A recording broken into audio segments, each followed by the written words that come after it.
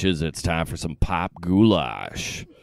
Uh, another week, another episode, and um, I got Bob on the old Skype with me today. How's it Hello, going, hello. Bob? It's going well. How are you? Doing well, man. Doing well. Um, what's been going on? Uh, not much. I watched. Um, I bought uh, on on a digital copy of the Spider-Man movie that I, we talked about last time I was on, and I watched. Yeah, dude. And I watched it twice today. I watched it yesterday and watched it with the commentary track today. Nice. Yeah. Nice. Had this been the first time you see it? I can't recall. No, I saw it twice in the theater too, which I don't. Right. I don't usually see movies more than once in the theater. I just liked it so much. Sure. If it's not, Yeah, if it's not Star Wars, I only go once. Right, right, right, right. Yeah, I saw that uh, it had. Um, uh, it, I saw it came out for streaming today, and I was like, "Ooh, Yeah. okay." So now it's like, do I ask permission or forgiveness? I, I was kind of in the same boat too. so, because I, I know the kids would, you know, the kids are going to get a kick out of it either way. Right.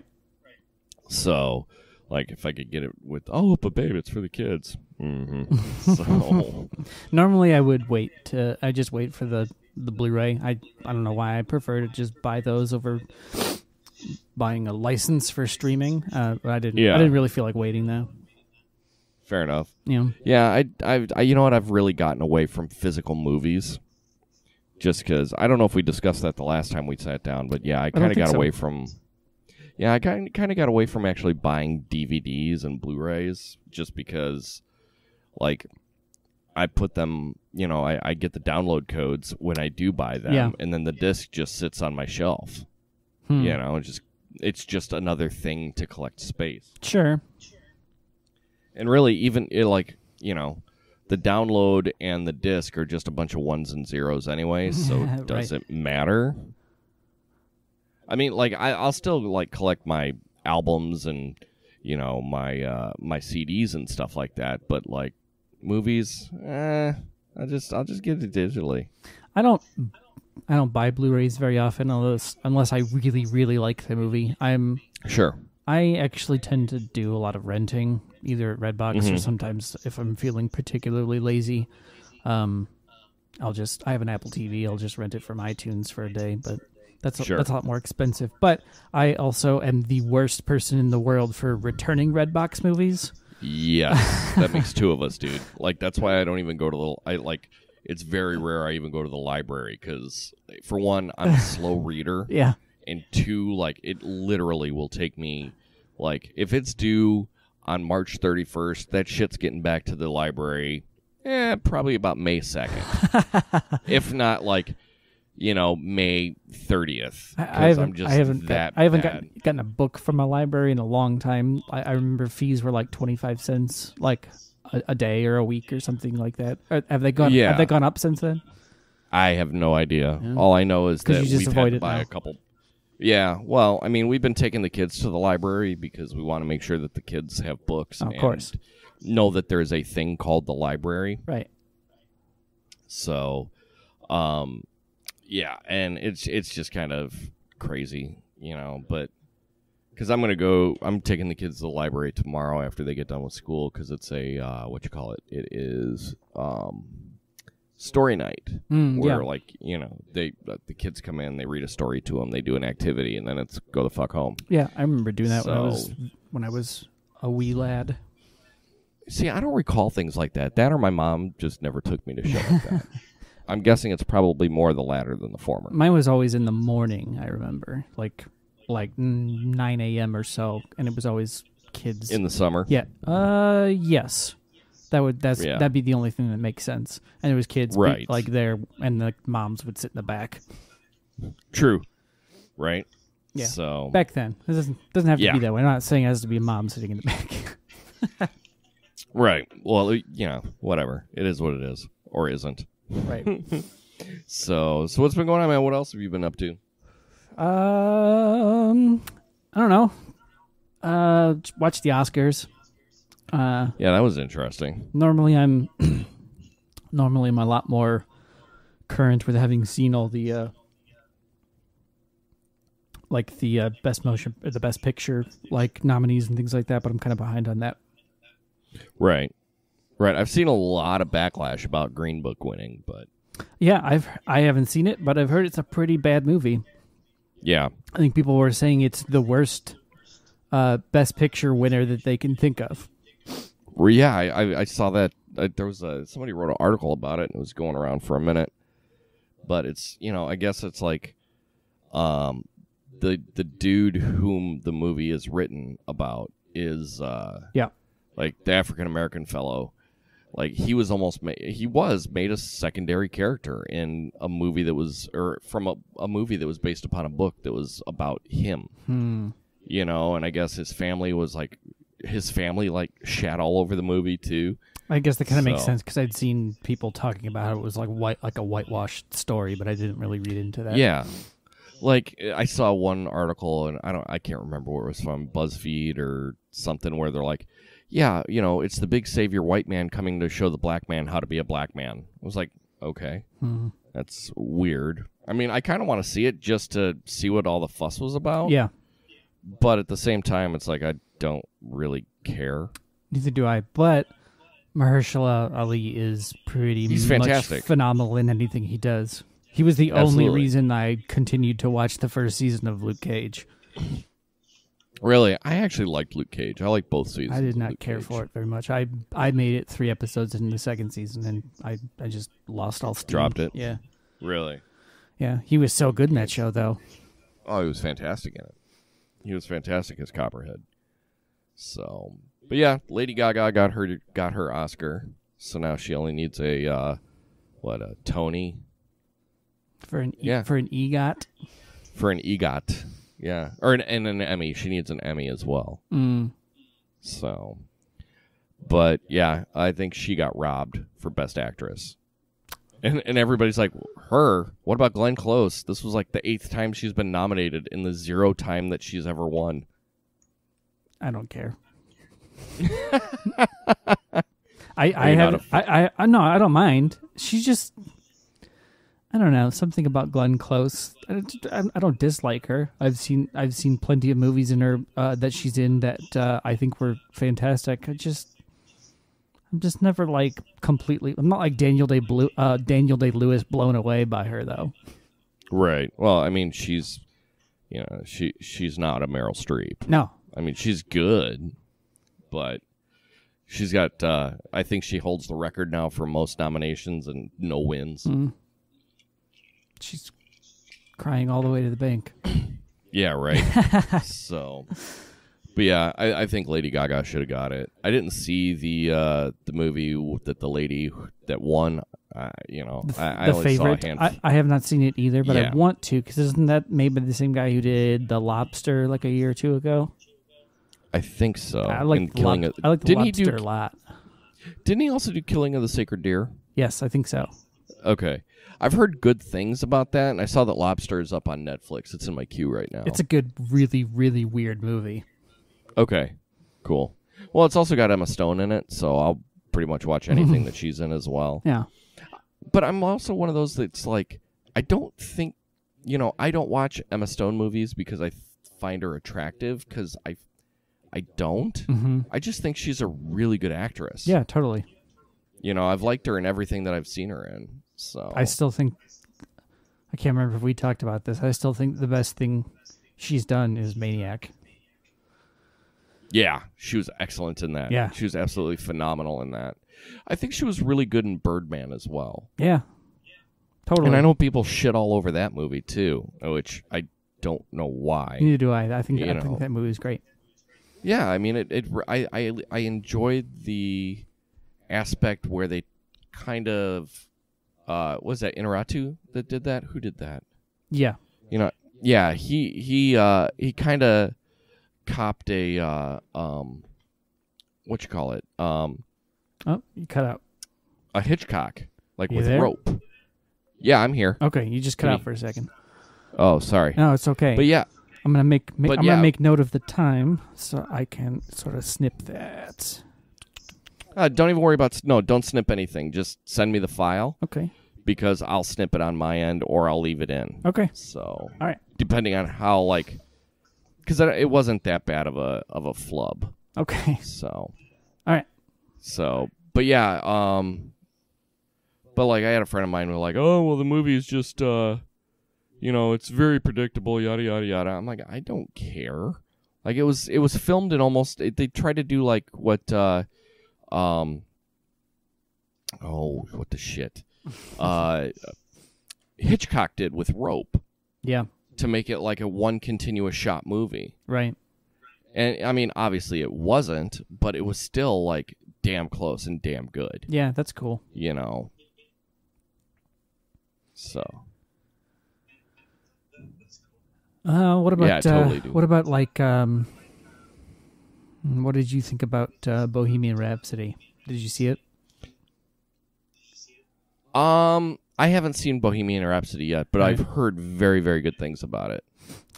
See, I'm wondering why why people love that movie so much because I saw it. Uh, my wife and I watched it last week, and Mhm. uh, I thought it was there were some some good parts, some really strong parts, but I thought it was a pretty awful movie.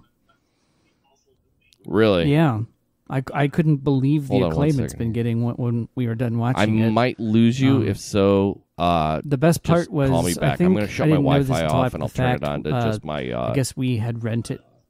What's up? All right, you still there? Yeah, yeah, yeah. Okay, I just shut off my Wi-Fi and went strictly to my uh, uh, Ethernet just to see if because my uh, you were breaking up pretty bad. Oh, okay. So you were saying Uh, something so about because I yes, I had said that uh, um I had not seen it yet. and You were wondering what the big hype was. Yeah, so my wife and I we rented it, and um, and I, when we were finished, we couldn't like understand the acclaim that the movie's been getting because it was there was so much of it was just so like un like not literally unbelievable. Like how they came up with writing their hits. It's just like, oh, Brian May came up with this stomp stomp clap beat, and it just like instantly turned into "We Will Rock You." Like, there's no way that any of the songs were written even remotely like they're portrayed in that movie. It was it was literally unbelievable. Huh. Well, I mean, though, like Brian May and um, uh, was it Rick Taylor? The no, Rick Taylor wasn't he the drummer of Def Leppard? Whoever the drummer was of Queen, uh, Roger Taylor. Yes. Those two, they were pretty heavily involved in the in the um, movie making process, though. That's what I hear as like consultants, yeah, but I, I don't know. I mean, I I know a little bit about writing music. I've tried to do it before. There's no way. There's I, it was it just felt like what should have been like a mini series crammed into like a 2-hour film. Yeah, It was I it just it just absolutely raced through the timeline. Yeah, I know that uh, uh, listening uh, to uh, Fat Man Beyond, uh, Marc Bernardin pretty much said the same thing. He was like, "Yeah, it just was like, oh, look at this this thing, and then oh, this thing happened, and then oh, this Yeah. thing happened, and then oh, this thing happened, and oh, here they are at Live Aid, the end." And I think that the version that we rented was some kind of special cut at the end. Um, Mhm. yeah, they said that they recreated the entire Live Aid performance or something. That was actually pretty fucking cool and well shot and looked great. And uh, I can't remember the guy's name who sang those songs, but he sounded very Freddie Mercury. no, the guy who sang the songs for the film. Was it not Rami Malek? No, it was not. It was uh, some guy from some cri- contemporary Christian band uh, who's gone solo. He's Canadian. I don't remember his name. Was it the was it the dude from Stryper? no, isn't that like Michael Sweet? Yeah. no, it was not Michael Sweet. Um, it was some, it was some of the guys, a, a small to mid level like music solo musician, um, and Huh. he just does like a pretty dead on Freddie Mercury. Interesting. Yeah, I can't remember the guy's name though. I I, I don't think he's his music. I can hear you note. like frantically typing, trying to find it. Uh, yeah, I'm trying to type quietly. trying to see if it was on uh, IMDb, and I'm not seeing it.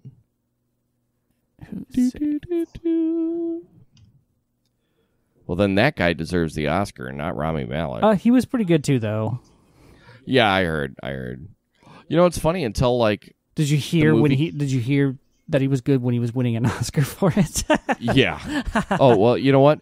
It would also help if I was looking at We Will Rock or at Bohemian Rhapsody, and not Yeah, Birdman. Out again. because Birdman.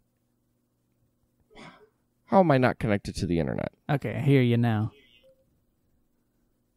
Are you there? Hello? Hello?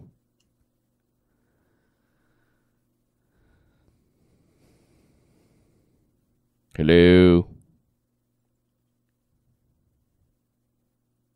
Bob?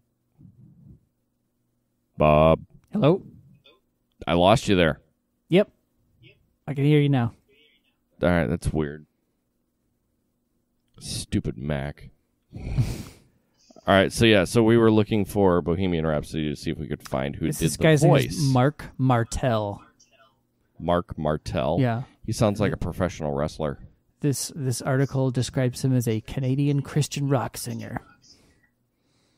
Oh, Yeah. Well, I mean, that's one strike against him. Yeah. I mean, he sounds good. Nobody knows his name though. Right? Who? yeah. Interesting. Man, they had a ton of uncredited people in this movie.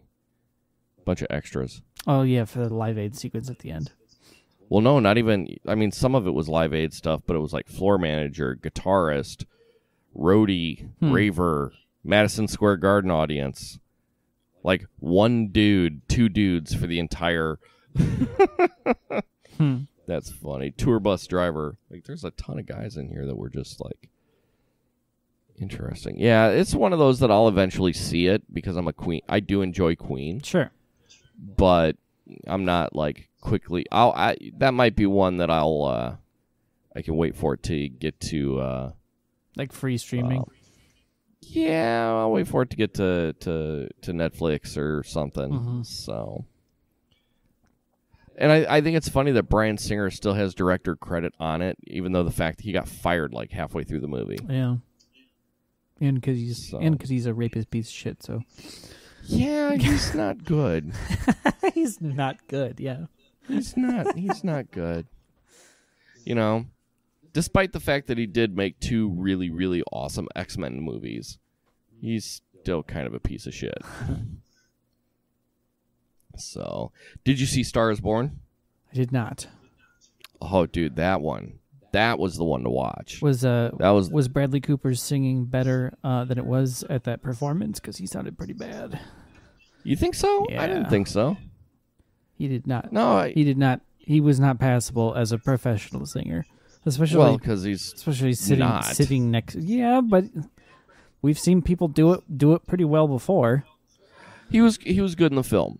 He was good in the film. That's good. Like, I mean, who knows how long it had been since like he had uh, performed last? You know, he might have had like, oh shit, I'm on stage in front of real people, and I'm also like on camera. You know, um, amongst you know, watch uh, about a million people or two million people or however many what the rating was for it. How many people were watching him live? I mean, he could have had just some jitters. Hmm. Sure.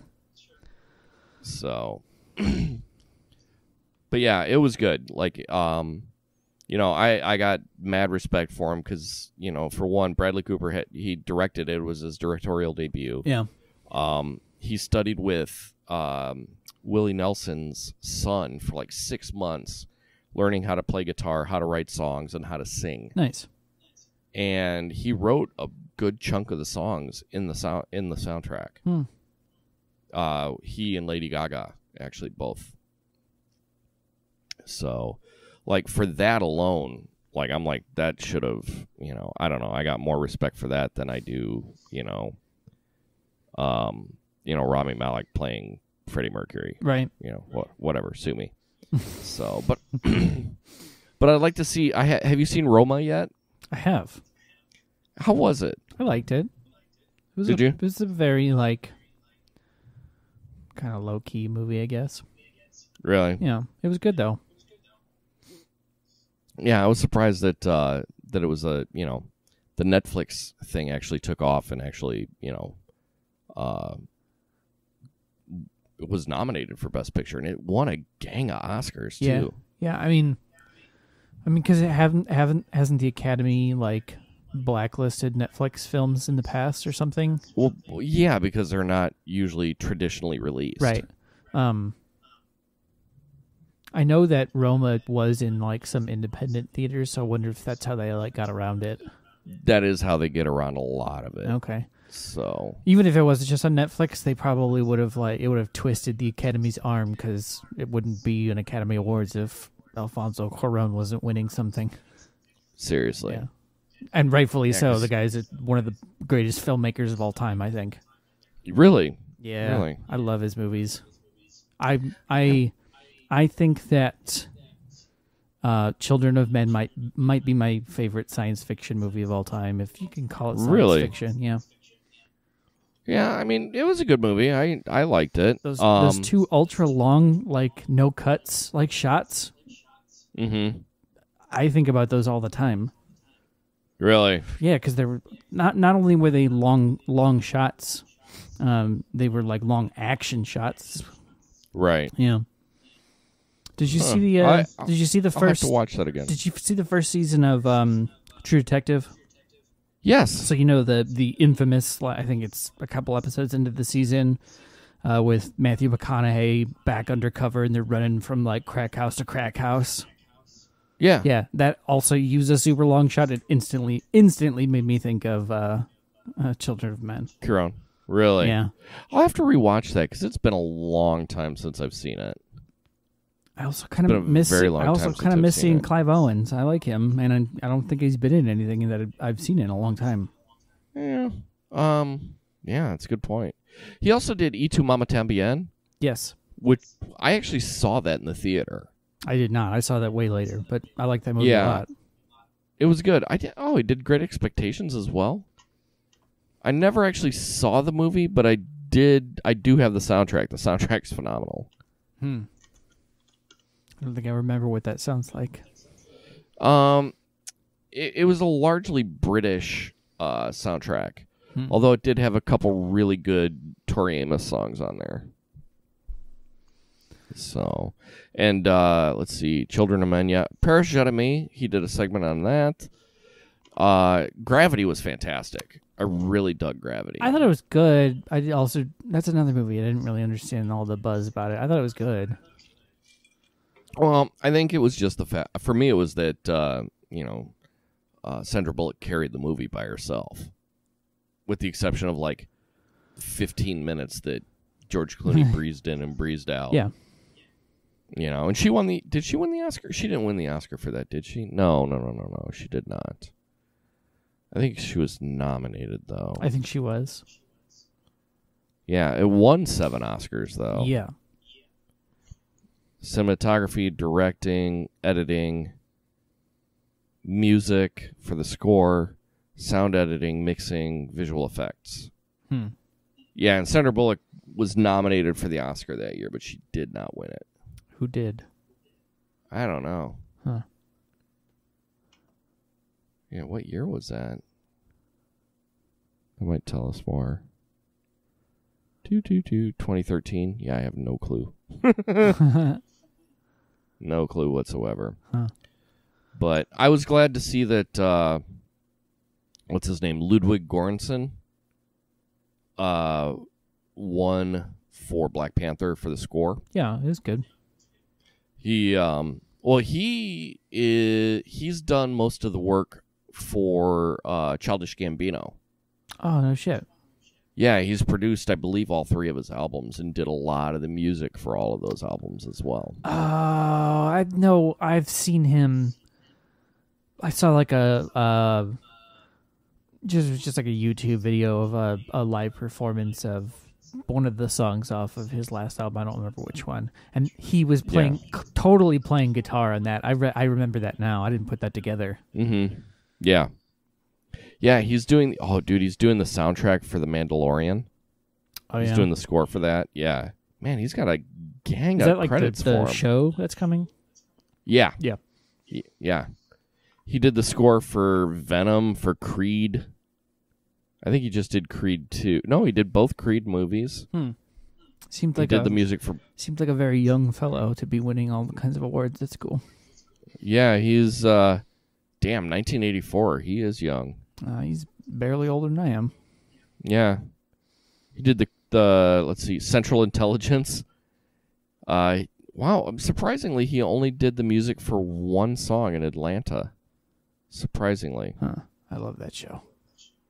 yeah. I just started watching it recently. It's pretty good. It's pretty good. Second season kind of changes a lot. It becomes more That's what I've heard. like That's what I've heard. each episode is kind of its own standalone thing. And I think the Mhm. the format change was really good. Right. Uh, let's see here. He did. Pretty, looks like he did pretty much all of the, uh, all of the the music for Community, Huh. So which is I bel so he has a, a serious connection with Donald Glover now. for sure. For sure. Yeah, it looks like he did. Let's see. What is this here? Yeah, he was the composer for all of it. That's cool. Yeah, like this. He's got like sixty credits to his IMDb. Yeah, good for him. Yeah. So, but yeah, I mean, I I dug that. I I I'm surprised there wasn't more backlash about you know this hippie looking white dude scoring Black Panther and winning the Oscar for it. You know, I would I would assume that you know people would be like, well, why didn't you know? Why wasn't an African American doing the soundtrack? I but I shit, Maybe if it was like closer to release. possibly Yeah. Swedish dude. Is he Swedish? So, yeah, Because I just Yeah. assumed it was German with a name like L- Ludwig. Ludwig. Yeah, no, it's yeah. He was born in. uh I'm not even going to try and pronounce it. Linköping, uh, somewhere in Sweden. All right. bork, bork, bork. So, so yeah, that was good. I, I was glad to see that. Um, uh, oh, sh- Nikes. Uh, Regina King got her Oscar. I didn't. That was I cool. did not see that. I really want to because she's she's a tour de force. She's amazing in everything. Yeah. Well, it's funny because the very first thing I think I ever recall seeing her in was um, Friday. Oh, She played she played Craig's sister in the original Friday. oh yeah. First thing I remember seeing her in was uh, Jeremy Oh, sh- Jerry Maguire. oh, really? Yeah. she was in that. Oh, dude, I saw her in because I've seen Boys in the Hood and Poetic Justice. She was in both of those as well, Mm. and Higher Learning. Man, she did a lot of stuff with uh, Ice Cube. She was in three movies with Ice Cube, Huh. and then also in Poe- Poetic Justice with. Uh, oh, damn! She was in two two seven. I used to watch the shit out of that show when I was a kid. Huh. Yeah, she's been in a bunch of stuff. But my uh, my friend Paige, who was supposed to be on the show this week, uh, she actually worked with um, Regina King on. Nice. oh, let me see if I can figure out which movie it was. Uh, she did some TV movie. in what in what capacity? What does she do? She was an actress in it, Oh, cool. and I think she directed it as well. Oh, But um, but yeah, my friend Paige worked on her with it, or worked on it with her, and she said that Regina King is just an amazing woman, Hmm. just completely awesome. I think it's where the truth. No, not where the truth lies. Not sure.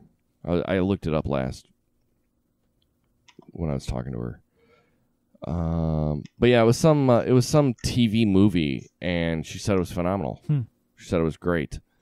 So she was one of my favorite characters in the second season of The Leftovers. She was really good in that show. Yeah, yeah, yeah, yeah. I just saw that she was in there. Yeah. Oh, let the church say amen. She directed it, Huh. and that was the one. That was the one that uh, my friend Paige worked on. I'm not familiar. Yeah, uh, it was some. It was a BET movie, actually. nice. yeah. So, but yeah, I mean, but then again, like I really dug her when she was on the Boondocks. Uh, Regina King. Yeah, did you ever watch the Boondocks? Yeah, here and there. but she played Riley and uh, um, Riley and Riley's brother. She played the two boys. Wait, what? Yeah, Riley and Huey. She was Riley and Huey on the Boondocks. I had no idea. Yep. That's Yeah. crazy. Totally.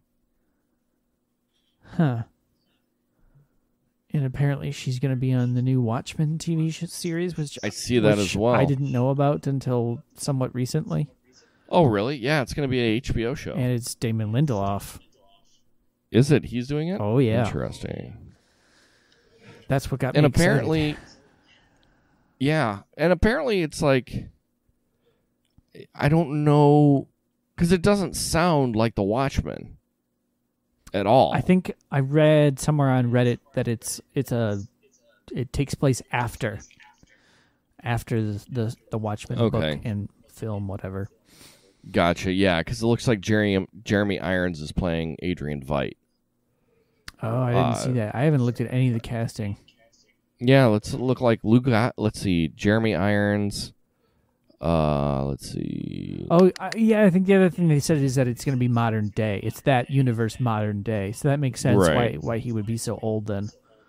Right, right. Lou Gossett Jr., Don Johnson, Don Regina Johnson. King, Tim Blake Nelson. Is Looking Glass. Yeah, So I wonder. I wonder what they're going to do. Like, what do you do with that? yeah. I don't know. What do you do? It, then who, it's, who's playing uh, Doctor Manhattan? it's he's not in it. It doesn't look like. He's got to be. Yeah, unless it's like Don Johnson. as an old Yeah, Doctor Manhattan. Right. But yeah, nobody else. I mean, there's no like. Um, Silk Spectre would be still alive during the Yeah, the yo- during the, it. the you know, like, yeah, yeah, yes, and you know, because I think the only one that really got killed, I mean, comedian got killed, yes, and um, uh, Rorschach ended up getting killed, yeah. Yeah. But Didn't that he- was it. Like, explode or something. He, yeah, Doctor Manhattan killed him. Yeah, and he's like he's like yelling at him to do it. He's like, "Do it!" And then he, Yeah. yeah, I remember Yeah. that. Mm-hmm. But I've read the book like three times. Yeah, I've, And, I've read you it know, twice. and then they and they've done like the Before Watchmen series, and that didn't have any of these people in it. And then they're doing uh, right now they're doing uh DC is doing a series called um, Doomsday Clock, Hmm. which takes place in the DC universe, but for whatever reason, Doctor Manhattan's breaking into the DC universe. Who's making that? DC? It's not a movie; it's a comic book series. Is it out? Yeah, yeah. It's it was it's uh supposed to be a twelve issue miniseries, Oh. but uh, uh, they've only got six out so far, huh? and it's just taking forever for uh, Geoff Johns to to write them and get and Gary Frank to get them out. Huh. It's been a real pain in the ass. Is Doctor Manhattan a protagonistic or antagonistic character? Don't know yet Huh. because they haven't explained shit because they're only six issues in and haven't really gotten to the point of like what's going on. Like there's a Rorschach, a new Rorschach, and you come to find out that it, the psychiatrist that was treating Rorschach while he was in prison, Yeah. his son becomes the new Rorschach. Huh. So, and he's here in the new like he crosses over and then like um Ozymandias crosses over and then in, I think in the last issue they put out for some reason comedian comes back to life. But they d- they haven't explained it yet. Yeah. So, I need like- to look this up. Yeah, it's called Doomsday Clock and like I said there's 6 issues out. I'm sure that you could just run to Graham Crackers or Chicago Comics and they'll have it. Huh. Cool. But it's actually it's for for as corny as it sounds, it's actually pretty well written. I'm kind of a sucker. You know, I'm kind I'm- of a sucker for comic book crossovers. Yeah, yeah. So, and it all started with Rebirth, with the original Rebirth, uh, DC Rebirth, Huh. because at the very end of it, Batman pulls like takes a, a rock away from the wall in the Batcave, and you see uh, the comedian's button hidden in the wall. And then they did a four issue run between Batman and the Flash, where like they start kind of crossing over in between worlds Yeah. between the DC universe and the Watchmen universe. And then after that, they kind of take out take it over from there, Huh. and that's where Doomsday Clock comes into play. Interesting. Yeah. So I mean, it, it's good. Like I said, I'm just waiting, like patiently, for the rest of the issues to come out because they're seriously, like, it's been like four months since the last issue came out, and this should have been like done in a year. Hmm. Dicks. so Left you hanging. Totally. Have you uh have you watched any of the the Umbrella Academy yet? I have not. Uh, I'm about It's in my queue. six episodes deep. it's it looks like a from like the I, I'm sure this is not the right way to describe it, but from the the preview that I watched in the picture, it looks like a cross between like X Men and Mystery Men. It kind of feels that way. Huh. You know, with a little bit of kind of Watchmen thrown in there a bit. What is Um, the tone of that show? Is it serious or is it funny? Oh yeah. Oh yeah, no, it's pretty damn serious. Oh, okay. It's very stern. Like they're they're taking it seriously. It was uh uh based on a, a Dark Horse comic that was written by Gerard Way from uh My Chemical Romance. Oh, okay. That makes it's- sense it's- because I know he's all over that soundtrack. Yeah, yeah, but it's pretty damn good, man. Um, I'm enjoying it thus far. I'm, like I said, I'm about six six episodes in, and Ellen Page is in it, Yeah, I saw that. and you know, I'll kind of watch anything that she's in as well. So, Which doesn't seem to be a lot anymore. what's that? Doesn't seem to be a lot anymore. What She- stuff that she's in? Yeah, she's been kind of scarce for a while. It seems. well, she's been doing a lot of activism and stuff. Yeah. So, but um, that and she's been doing like a bunch of like really, like, um, well, I think she kind of got she was gone for like two years. Like, uh, 2017 was kind of busy for her, but then she did Flatliners and got put in movie jail. Oh yeah. so, I didn't see that, but I remember seeing lots of trailers for right, that.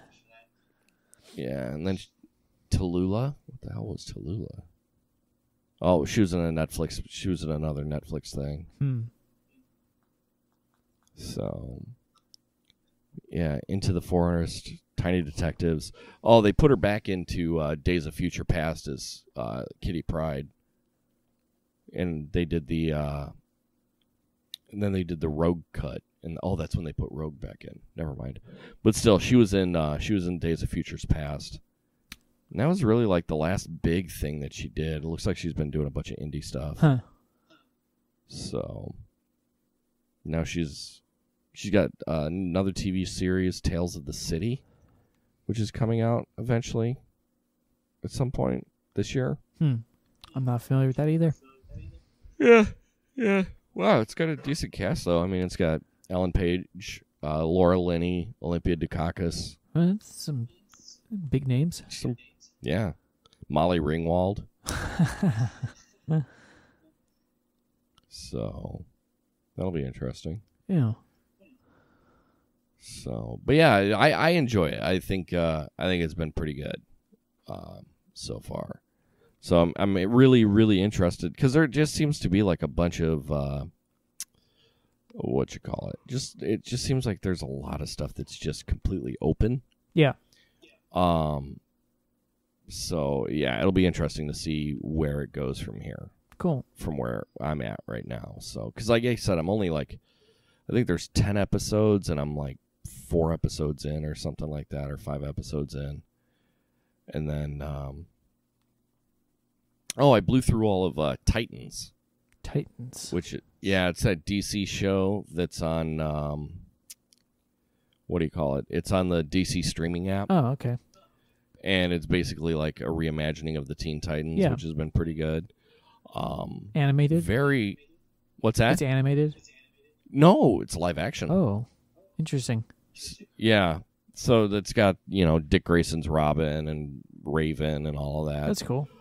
um so watch that. You know, I blew through that. That was pretty good. Huh. So but so yeah, it's been uh yeah, just just doing a lot of watching TV, doing nothing. Yeah, me too. I after like I think two previous false starts uh where I got like an episode in and just stopped watching almost immediately. I finally am current on Brooklyn Nine Nine.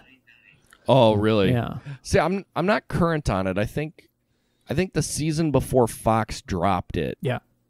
was when I stopped watching it. Um, this season that's well, this first season that was on NBC, NBC is not very good. Oh, really? No. But Oh, but I liked the seasons before it a lot. Um, right. I don't know why I put off watching it for so long because I think um, what's his face is hilarious, Andy Samberg. Oh yeah, yeah, yeah, for sure. Um, one of my guilty pleasure uh, films that I will always always love more than everybody else that I know is Hot Rod. dude, Hot Rod is pretty badass. It's dude. That movie is funny as hell. Like that whole weird, like surreal, cool beans sequence. it turns into like a techno song. yeah, right. And then he's like constantly trying to kill his dad. And uh, You know. Danny Danny McBride and Bill Hader are my my favorites in that. Yeah, dude. Did you ever watch Eastbound and Down? That's another show that like it took me several several attempts to finally like power through it. But once I once I got once I gained momentum, I was all about it. That show show's hilarious. But Kenny was Kenny when- Powers is such a convincing asshole. Like I could not watch it for the longest time because I hated him. Right. Well, I mean, like Danny McBride just pulls that kind of character off. Yes. You know, like I was never a huge Danny McBride fi- fan until I saw that movie Yeah, he's he's or a- that TV show. he's oh my gosh. I don't know how you could live in that role for that long. Uh, unless you're actually that person. I, I hear he's actually a pretty nice guy. Seriously. you're out, motherfuckers. What is it? Strike three, motherfucker. Yeah. So, but yeah, that was that was a pretty that that, that was the one that got me introduced to. uh Oh, what what's the chick that played his wife in that, or his ex-wife? I don't know her. I don't know her name. She has like some family sitcom on ABC or something. Yeah, Katy Mixon. Yes. Yeah, I think she's super. Sorry, I, I just think she's super hot.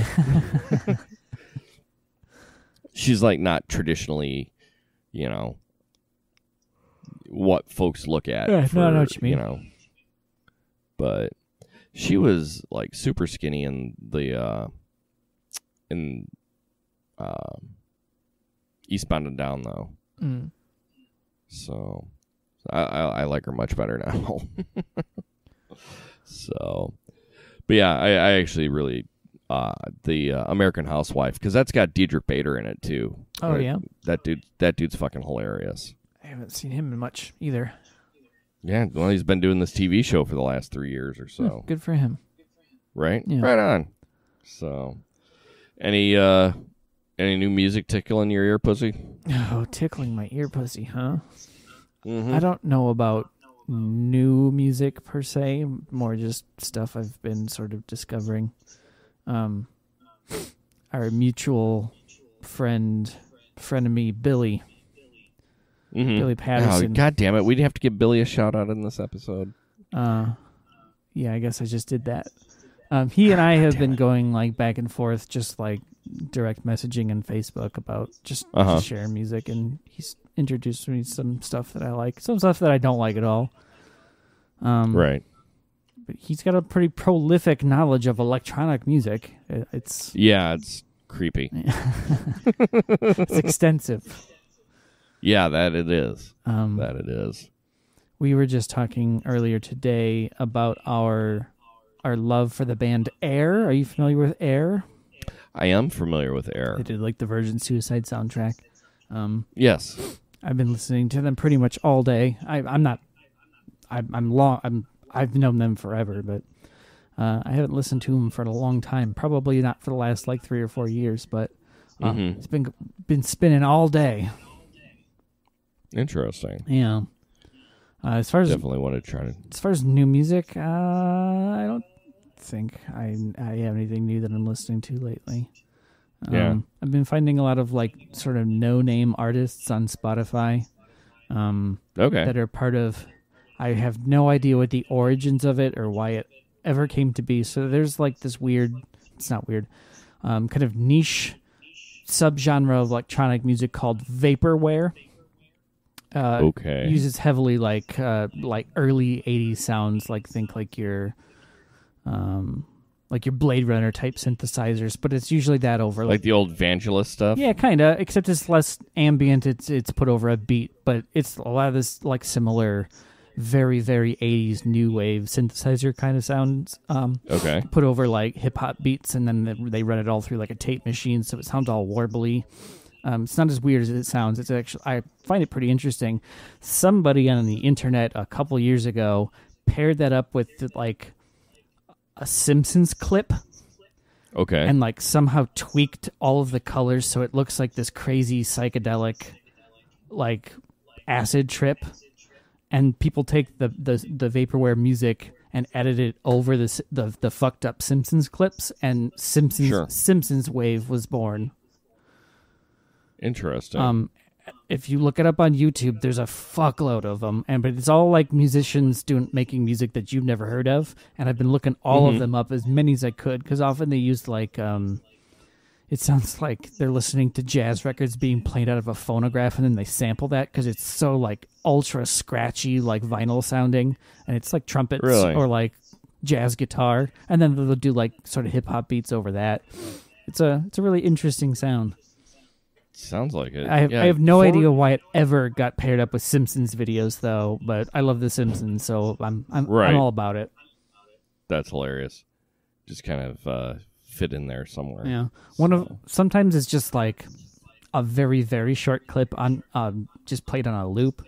And one of my favorites is a song put to a clip of a naked Bart Simpson spinning on a clothesline for like 2 minutes. Okay. Yeah. Cuz Was it taken from like the Simpsons movie? uh I think it was an episode. Because I think the only time I think I've ever seen Bart Simpson naked was in the Simpsons movie. I don't remember. I remember. I think that was a pretty funny joke in the beginning of that movie where he's skateboarding It with no was. pants, and then he's, he's covered up by the bushes, and then they cover up Yes. the rest of him. Right. Uh, I don't remember the naked spinning on the clothesline. I think that was from an episode. I don't remember which one though. Okay. Gotcha. Yeah. Nice. Yeah, I've been uh I've been digging uh this album called By You and Me. You and me. Um it's it's Pink. The artist Pink. Okay. and I'm a huge Pink fan. I mean, it's well documented. but uh, they re- she released an album with um, this dude named Dallas Green, Dallas. and they did like, yeah, he apparently he's in a band called The City and Colour. Okay, I'm or somewhat familiar with their music. Sure. Okay, well, the two of them put out like a folky type album, Huh. and it's it's really really good. So I've been listening to that lately. Um, I've been listening to a lot of Pink lately. She just released a new single, just like a one-off single. Oh yeah. Um, but that, and I just finally discovered Saint Vincent. Oh, you weren't familiar with her before? I well, I heard her name, and I saw her do her thing with um, David Byrne. it. Uh, what's that? David Byrne. No, well, when Nirvana got inducted Oh into yeah, the yeah, Rock and yeah, Roll yeah, Hall yeah. of Fame, Which was great. she came out and did all apologies with them. Yeah. with the surviving members, and that was really all I'd seen of her. Uh, she had actually performed in a group called uh, um, the Polyphonic Spree as well. And Correct. I think last time we spoke, I, I said that I told you that she was one of their guitar players for a while. Yeah. Correct. Yep. Correct. So, like, I guess I saw her when she was playing with them because it was during that era. That's cool. So yeah, so I picked up the uh, Saint Vincent Saint Vincent on vinyl Mm-hmm. not too long ago, and then um, I downloaded the Mass Education, the the newest album, Mm-hmm. or the Mass Mass Seduction. Yes. Yes. and uh fuck dude i'm i'm a i'm a saint vincent fan That's cool. Have you listened to. Strange Mercy yet? i have not That's my favorite, and my favorite song in that is called Cheerleader. Uh, it's, Okay. It's very, very big. Like the bass is huge on that song. It's kind of different, a different sound for her, but I really like it. right on Yeah. and and then uh, i found out like i was listening to a band called the dead deads for a minute Hmm. and it's like this all female rock group and uh dude, it's fucking good. Nice. Um, so it's called Strange Mercy. Strange? Mercy. Yeah, it was from 2010, 2011, I think. Yeah, shown 2011. All right, I'm downloading that now. Yeah, it's very good. But- I love that album. Nice. So yeah, so that'll be uh, something I'll spin tomorrow. But I just found out that the Dead Deads put out an album called uh, Sketches and Animation. So I'm going to be listening to that tomorrow too. Nice.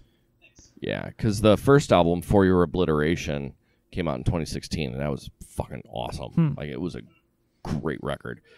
Um, but they're kind of punky, you know. Um, their new album was only 37 minutes long. Hmm. like their debut album was 37 minutes long. That's pretty short. So, yeah. So it's, you know, it's short, gets to the point, you know, and on, on and on to the next thing. Hmm. But you know who I, I was exposed to recently, too, that I was just like, okay, was Chance the Rapper. You aren't familiar? Like, I, I'd never heard any of his stuff. Sure. So a buddy of mine was like, dude, you got to listen to Coloring Book. I downloaded it. And I'm like, nah. you didn't like it? No, I'm not, not a fan. Okay. What didn't you like about it? Um, the production, Really? I thought it was a nice sounding Yeah. album. Like it sounds sorry, okay. Mixtape. Yeah, yeah, yeah. Like it sounds okay, but like I'm just done with all this shitty auto tune that sounds like everybody's drowning underwater. and like nine nine out of ten like guest artists on that album are all fucking auto tuned and it's the worst. Hmm. It's just fucking terrible and I can't I I just I I can't. I liked it. I like it. Uh, you should. You can download it for free. I think from his SoundCloud, um, because he never put them on streaming and he's never charged money for them. Uh, if you look Mhm. look up his SoundCloud, it's called Acid Rap. Um, Okay. there's a lot of like old old Chance the Rapper fans that they'll they th- they think that that's the best thing he has done and will probably ever do. It's really good. really? Yeah. Okay. And then there's his first one. I don't remember what it was called. He actually did uh, when he was in high school. Uh, he had like uh, he he got suspended for a week or something like that, and so he went in the studio and recorded this his first mixtape while he was suspended from school. really. Yeah, that's that's, That's worth that's worth listening to, if only for the novelty of it. That's funny. Yeah, Right on. I like him. I don't think he's the best. I don't, I don't think his rapping is particularly impressive. Um, I just like the guy. He just Yeah, I mean, I like the things that he does. Yeah. Like outside of music, right. you know, I, I, I enjoy like, you know, you know that he's p- pumped so much money into the Chicago school district and or you know into CPS, Mm-hmm. Yeah. and he's really like.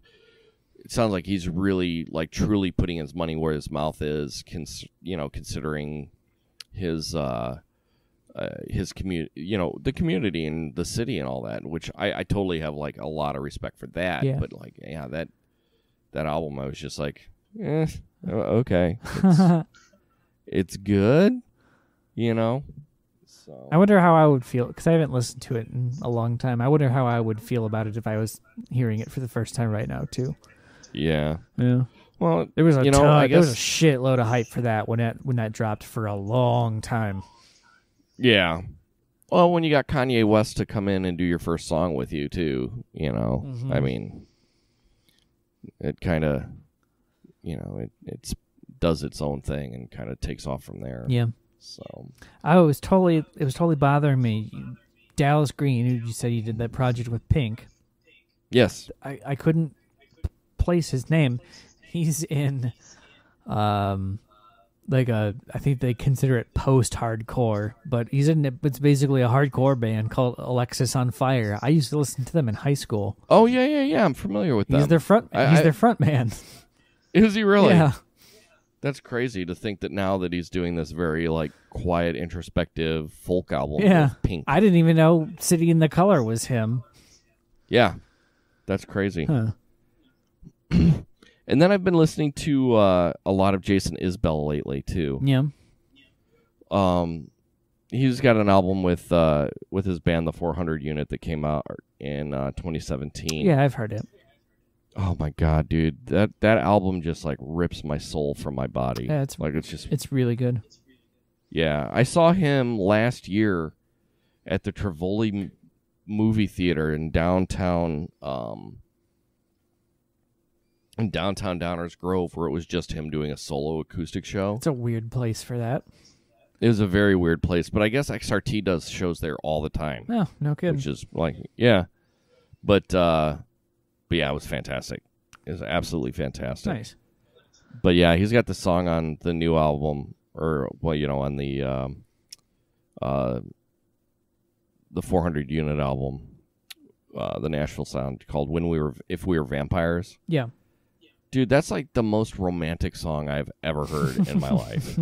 Like, it's seriously is just like it, it's just a beautiful, beautiful song. Because at first, when I first heard it, I was like, "If we were vampires," I'm like, "What kind of?" you know, I'm like, "The shit kind of Twilight bullshit is this?" You know, but like the other day, I actually like sat down and listened to it, and I was like, "God damn, this song is incredible." I'll have to give that one It's- another visit. I haven't listened to it in a long time. I remember liking it a lot, though.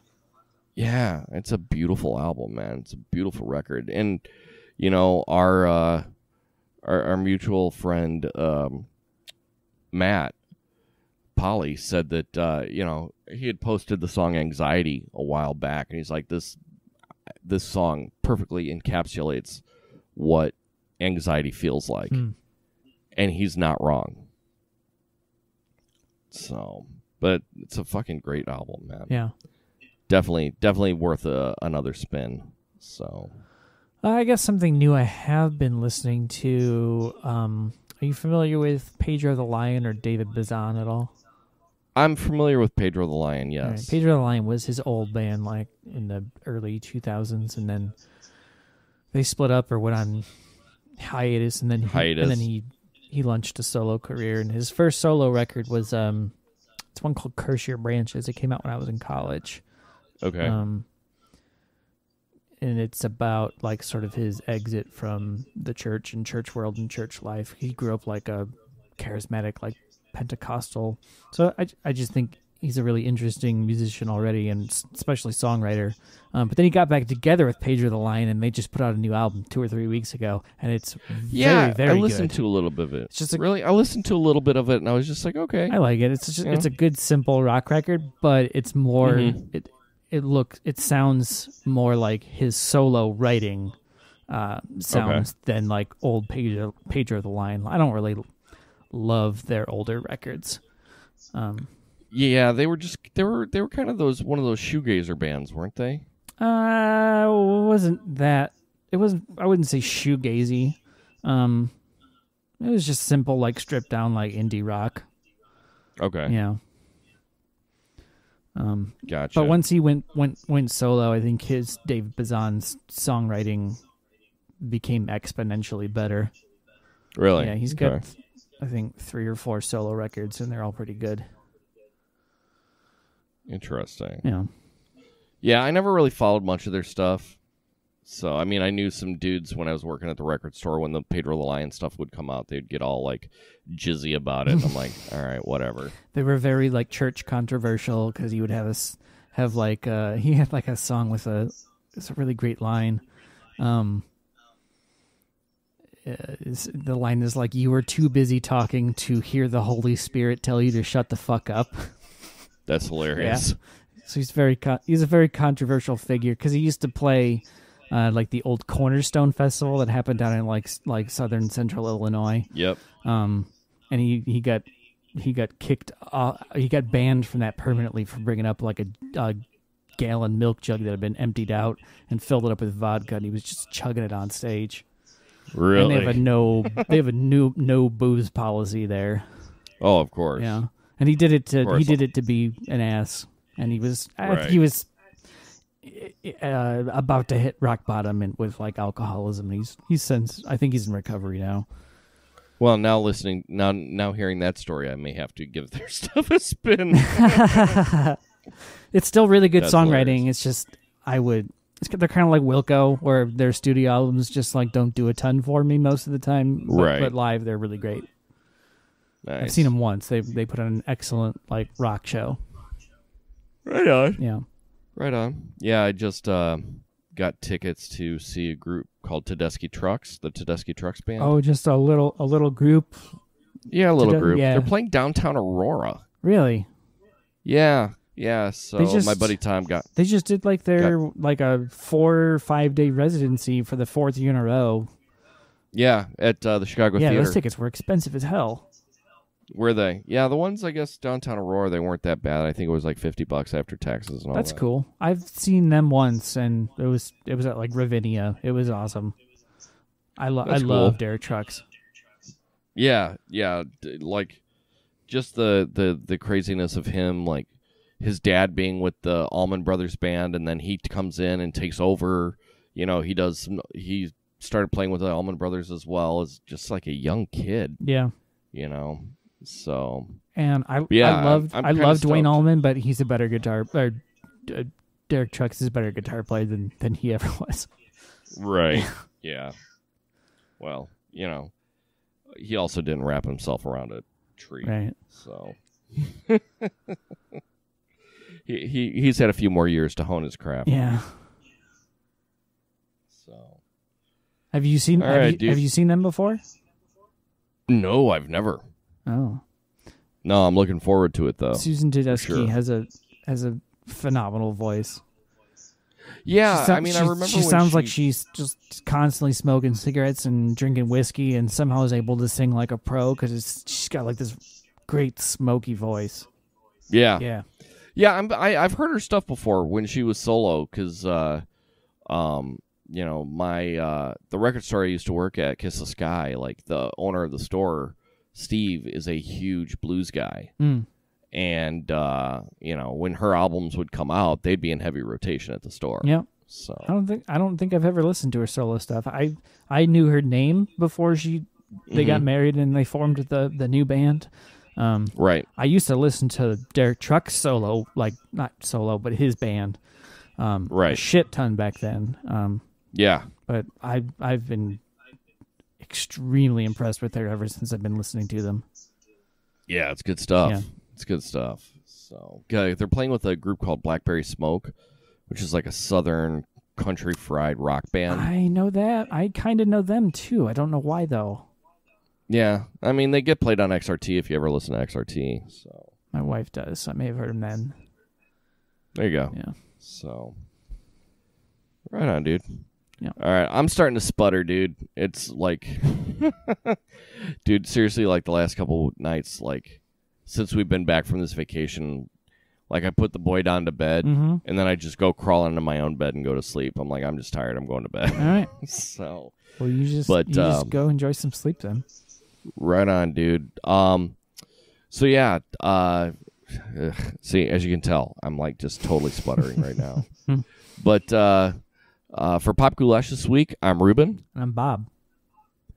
and uh, be kind to one another. Peace.